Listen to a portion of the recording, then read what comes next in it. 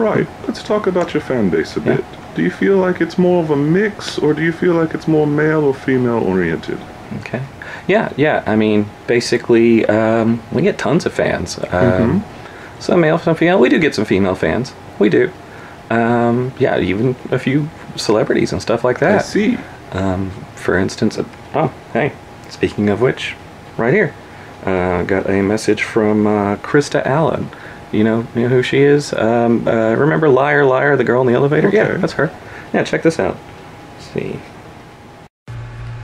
Hey Lew. What's up?